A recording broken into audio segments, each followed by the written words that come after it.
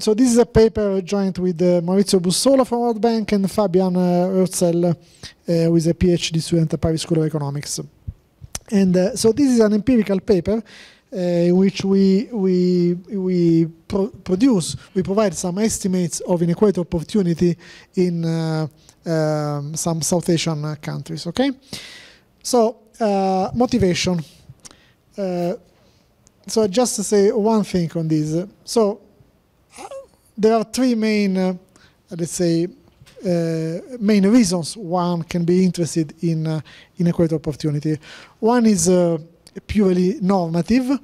Uh, you know, there was a big discussion in the 90s and uh, uh, even before among uh, social, uh, among philosophers, political philosophers, and normative economists about uh, what is social justice and why we should move when thinking about social justice from the space of achievements to the space of opportunities. So from an let's say, a welfaristic approach to a non-welfareistic approach in which the process by which a given distribution is obtained is relevant. So this is an intrinsic uh, reason, if you want, uh, why equality opportunity is fair. The other is instrumental, okay? Equality opportunity is interesting because inequality opportunity can be a barrier to economic growth. There have been different ways in which this has been uh, specified and declined there are different different arguments. Inequality opportunity can uh, can go against uh, a good uh, an efficient allocation of talents, can be against uh, the good incentives in a, a market economy. Uh, but you know, and then there is also another argument, which is uh, that inequality opportunity. The equality opportunity is not only the, the, the conception that is proposed by philosophers, economists, but is the conception that is very popular among normal citizens, okay? So we should take into account this.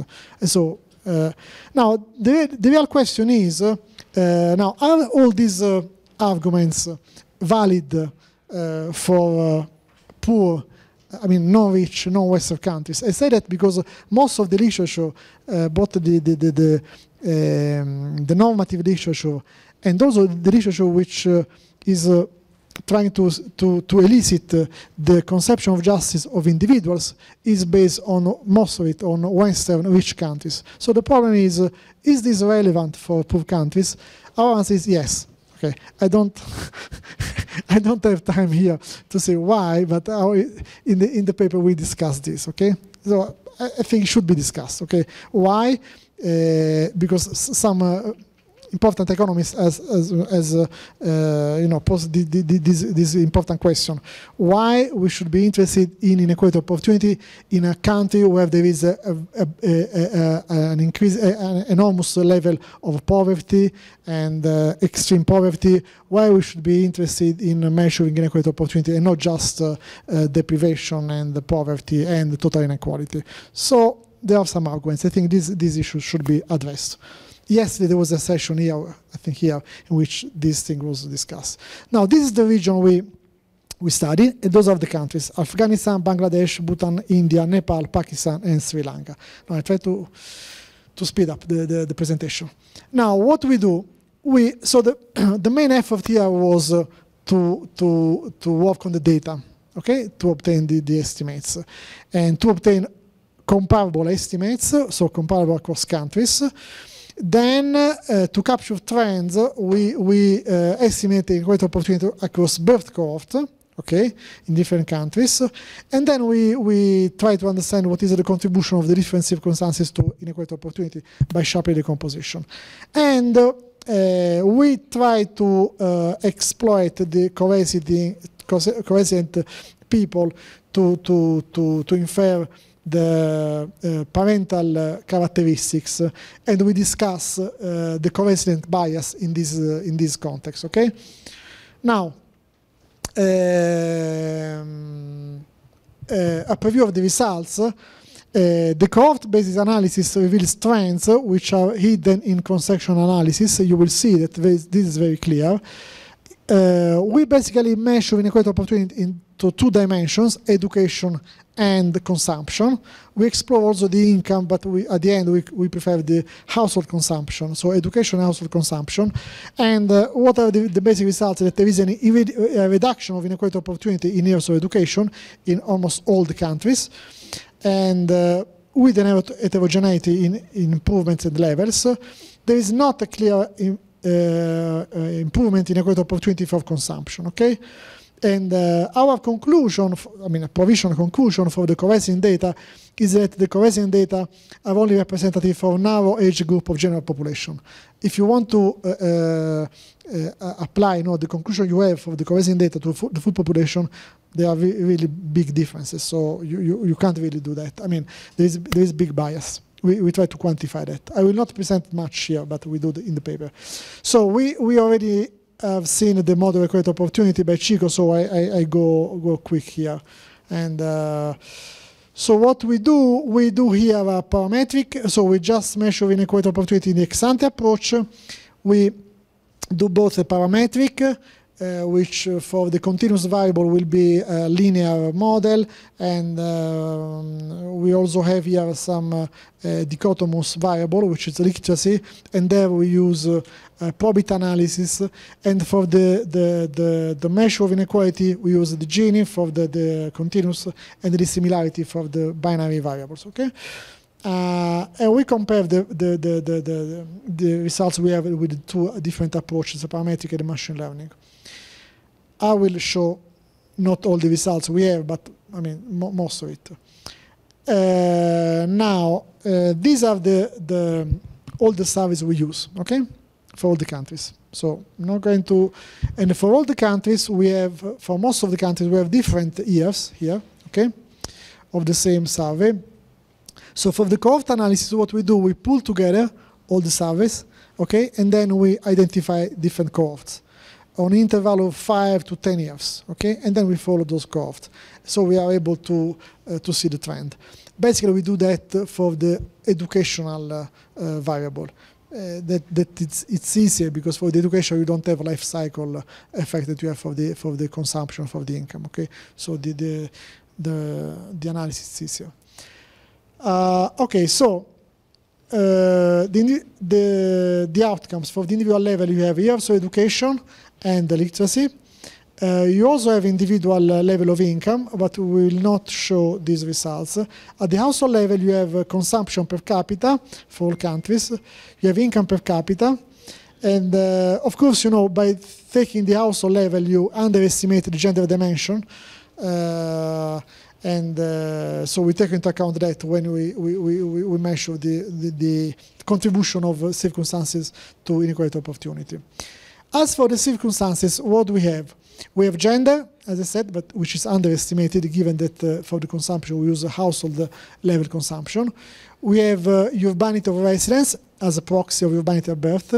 We have geographical region of residence uh, as a proxy for region of birth. Now we have some statistics to see how big is uh, the migration from one, from one region to the other is not that big, so our results we are quite robust in that in that sense.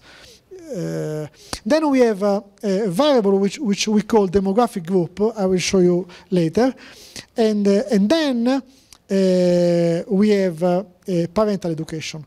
Now, for most of the countries, we have uh, gender, urbanity, geographical region, demographic group. For some countries, four countries uh, specifically, we have also parental education, okay?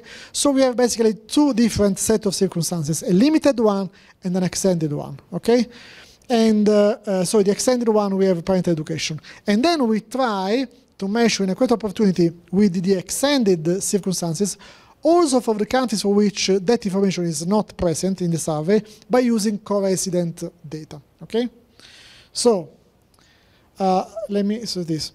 So this is the basically uh, for each uh, circumstance you have the country for which the circumstance is available in the data.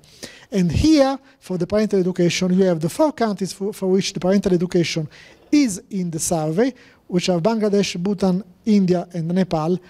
And these are the other countries, so Afghanistan, Pakistan, and Sri Lanka, for which only the co-residence uh, analysis will allow you us to to to to use uh, the, the, the parental education. Uh, sorry. So let me just spend a few words here so the demographic group variable is a, is, is a composite variable variable, which is also different from country to country. Okay, so here there was a kind of compromise. Okay, uh, which is uh, in, in, the words of Checchi is certainly arbit arbitrary, but you know arbitrary doesn't mean that it cannot be uh, justified in uh, with a reasoning then the, the, the, point is uh, that the reasoning should be compelling, it should be, uh, in, in a sense, uh, convincing. so what we have basically here, we have a, a, variable which takes very different meanings in different countries. So for instance, in India you have a, a, a, variable with six categories in which you mix the caste and uh, the, the, the, the, religion. And uh, for the uh, the Pakistan, you have a, a, a variable which uh, basically depends on the language. For Sri Lanka, the ethnicity. So this comes from the specificity of each country. Okay. So the compromise solution we have is that we have a model with the same number of circumstances, so covariates, but that covariate, one of those covariates, so what we call uh, demographic group, has very different meanings for the different countries. Okay, reflecting the different social and cultural structure of the different countries. That was, in, in a sense, you know, the compromise solution we, we had. And uh, okay, uh, let me so let me show you the first results. So first of all, educate. We start with education, then we go to consumption. Education. This is the full inequality. Sorry, the picture is not really focused, but anyway. So this is uh, the total inequality in education. This is inequality in years of education, so the Gini of the years of education. As you, as you expect, the values are very high. You know, the years of education is a, is a, is a, a, a distribution with a few values, so it's very easy that the, the, the, the, the Gini increases. And you have a, a, a clear decreasing trend uh, for all the countries here are the birth cohort, okay? So we identify the trend because we have the different birth cohort. So from those born in the 60s to those born in the second part of the 90s, okay? So for each birth cohort, you have uh, inequality in the years of education. And you have that uh, the inequality uh, decreases for all the countries, okay? And uh, in a sense, uh, this is confirmed when we look at the portion of inequality in education which is explained by circumstances. So also inequality of opportunity in education has been decreasing for all the countries uh, from the oldest to the youngest cohort. Okay, so there is a decreasing trend. Is strongest the decrease in some countries like uh, Bangladesh and Bhutan, and here you have also India, and less uh, pronounced in some countries like uh, Sri Lanka and uh, and Nepal.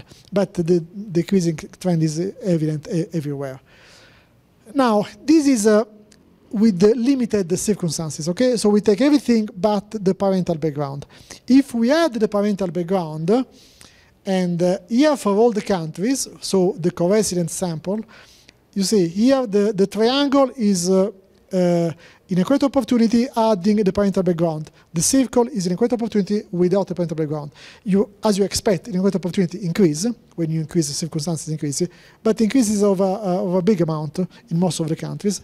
And you can appreciate, you know, where the parental education plays a big role uh, in, in the different countries.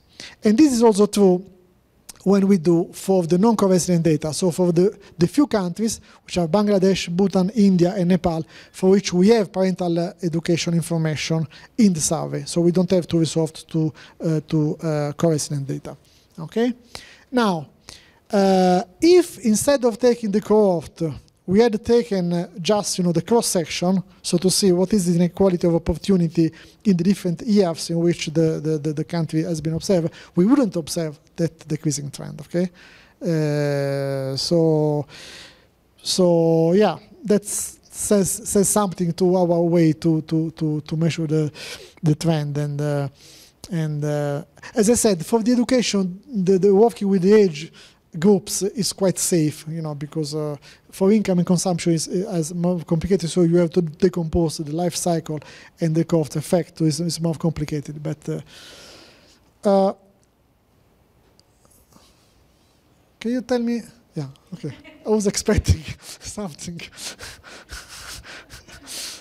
uh, literacy share is consistent with what we saw with education. Okay, so it's an increasing trend, and also the the uh, dissimilarity index says the same thing. So I will not spend time here.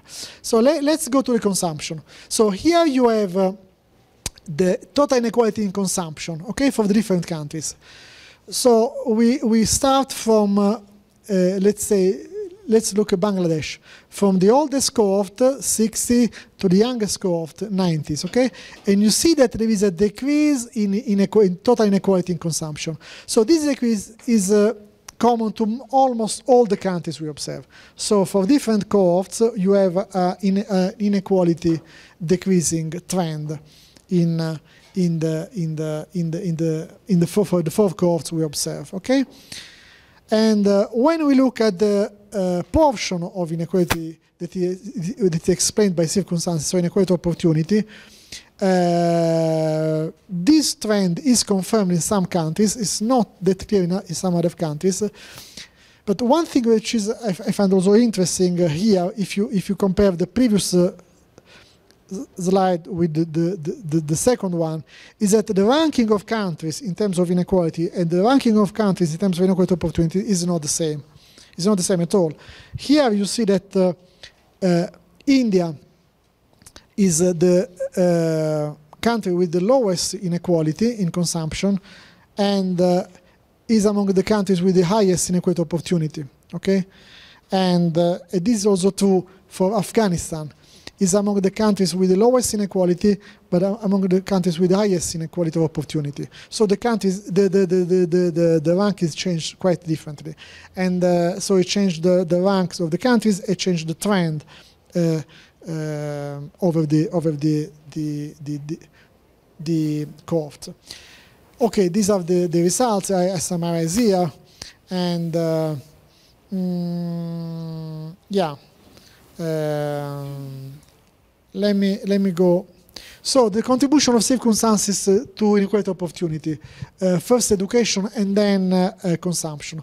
For education, you see that uh, you have the sub-region, the region, and urban, which is which all, all, all together is basically the location of individuals plays the biggest role. So explain most of it. So most of the inequality opportunity we observe with this data is uh, the is due to this uh, you know the, the location of individuals so sub-region region and urban here we don't have the uh, we don't have the uh, parental uh, background okay because this is the is the the, the the, the common set of circumstances common to all the countries and uh, and we have a, a smaller role of the of the gender what is important is that when you uh, you go from the oldest uh, cohort to the youngest cohort, yeah, uh, you have a decrease in the role of gender, you have an increase in the role of the location of the region. So the regional inequalities basically is increasing uh, in explaining opportunity inequality uh, across cohort in most of the countries. Uh, what about the consumption? For the consumption, you have again the same results in terms of magnitude of the location uh, variables with respect to the rest, but you don't have uh, that clear trend in the, in the increasing role of the location that you had for the education stuff. Uh, okay, I'll, uh, um, I will. The last thing I want to show is the relationship between total inequality and inequality opportunity. Now, we, we also seen, uh, I think yesterday, some graphs in which we, we, plot, we, we plot total inequality and inequality opportunity. If we do it with uh, education, we have uh, what we expect now. We, have seen uh, many of these graphs in, uh, in the literature. So there is an increasing uh, relationship between total inequality and relative inequality opportunity. Okay, so those countries in which there is higher inequality are also those countries in which the portion inequality explained by circumstances is increasing. And uh, if you do it with consumption, we don't have any evidence of that. Okay, so we just have, a, yeah, we don't have a, a, any. Well, this is just a correlation, but we don't have any any kind of correlation.